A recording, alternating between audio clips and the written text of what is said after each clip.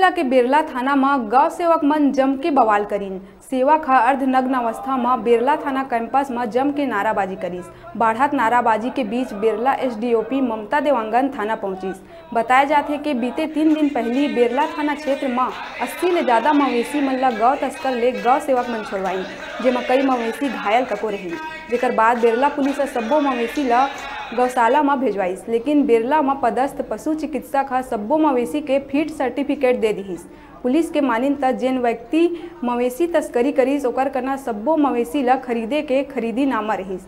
लिहाजा ओला छोड़ दिए गईस।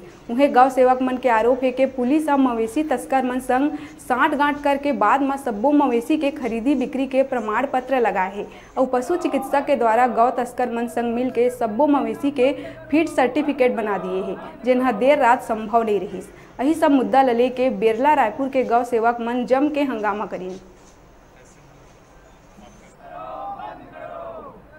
एक सूचना मिली गौ सेवकों के द्वारा कि 80-90 की संख्या में गौवंश की तस्करी की जा रही है। तुरंत हमने गौ सेवकों को कहा कि चूँकि हमारा गौशाला नया है, आप पूरी गाय को हमारी गौशाला में लाइए, हम उनकी सेवा करेंगे। 19-20 तारीख को गौवंश को लाया गया, लेकिन अचानक 24 तारीख को पुलिस विभाग के द्वारा हमारी गौशाला में दबीज दी गई कि ये ये जो गौवंश है 28 गौवंश जो हमने लाया था, वो उसको आप छोड़िए। जो तस्कर पकड़ा है उनके खिलाफ क्या कार्रवाई की जाएगी उसके खिलाफ कोई कार्रवाई नहीं की गई।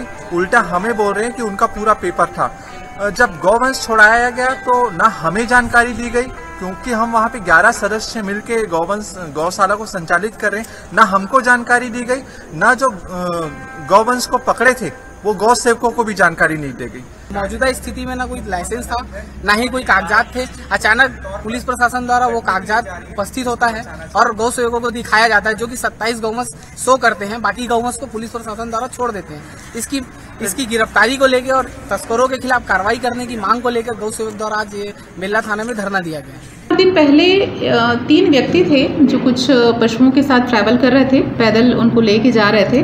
तो एक शिकायत हमको मिली थी कि ये पशु तस्कर हैं और उसको इलीगल तरीके से लेके जा रहे हैं करके। लेकिन जब हमने उनसे पूछताछ की थी तो उनके पास रसीद मिली थी बकायदा उन पशुओं के संबंध में। तो इनका कहना ये है कि वो अवैधानिक तरीके से उसको लेके जा रहे थे। अब चूँकि उनके पास रसीद मिली थी, उसको हम लोगों ने तसल्ली करवाया। कि वो रसीद कहाँ से मिली थी, उनका कहना था कि वो कहीं बाज़ार से उसको ख़रीद के लेके आ रहे हैं तो हमने संबंधित ग्राम पंचायत से भी उसको तस्दीक करवाया है। तो उनका कहना है कि वो रसीद वही सी ग्राम पंचायत के द्वारा उनको उपलब्ध कराया गया है। आप लोग ऊपर कुछ आरोप लगा रहे हैं कि उनके साथ करके गलत तरीके से गाय को छोड़ा गया नहीं, ये आरोप तो बिल्कुल निराधार मैं कहूँगी, क्योंकि जितनी जो भी हमने तस्दीक करवाया था, उसके आधार पे तो अभी तक हमको कोई इसमें फॉल्ट नज़र नहीं आया है। फिर भी उनकी आवेदन को लेके फिर एक बार फिर से मैं जाँच करूँगी इसकी।